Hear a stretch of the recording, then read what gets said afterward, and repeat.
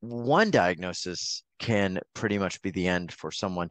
I mean, overcoming nine, nine times. I just want to say that is pretty astounding. So, um, yeah, after after two years of just head to toe pain, no sleep, brain fog, I, I had I had brain damage. I lost parts of my vocabulary.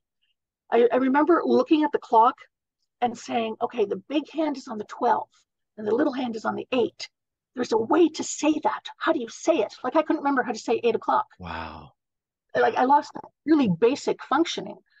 Um, uh, and never mind that, my sense of spatial perception and direction was so off.